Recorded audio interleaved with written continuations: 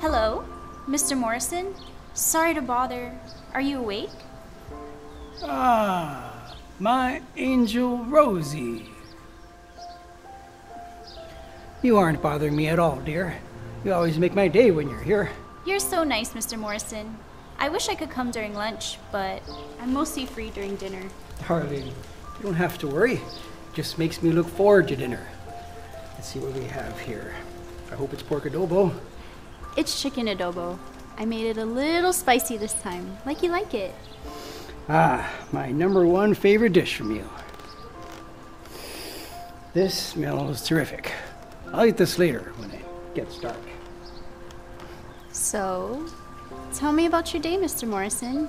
Oh, you know, the usual. Boss gave me a hard time at work, so I told him, you know what? I quit. So here I am, just chilling.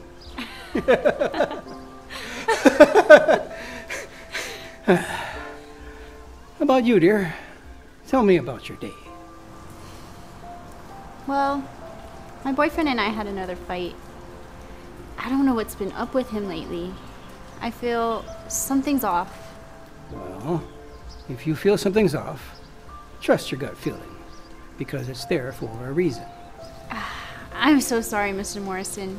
It's like every time I come here and talk to you, all you hear is me complaining about my boyfriend. Stop. I love to listen. Having a conversation with a nice young lady makes all my worries. It's always nice to talk to a human being, most especially you, Rosie. Can I ask, why are you so nice to me? Well, I believe that everyone in this world deserves a second chance in life.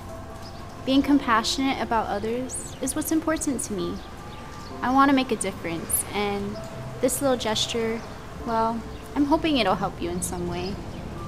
I don't have much money to give, and even if I tried, you wouldn't accept it. This dinner is the least I can do. Rosie, this dinner is more than enough. It speaks to your character. By the way, I have a gift for you. I won't be able to use this, and you know how my health is. I could die any time. Well, what is it?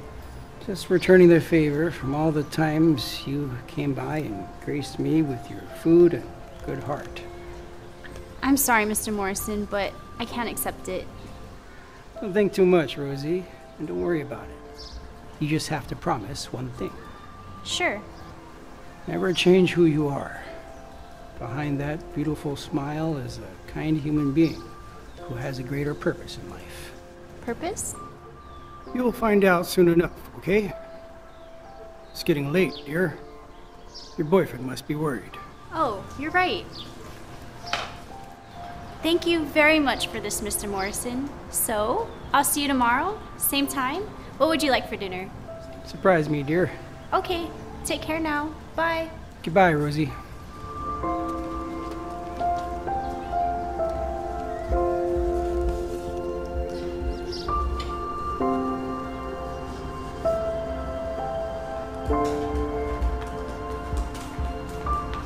Mr. Morrison?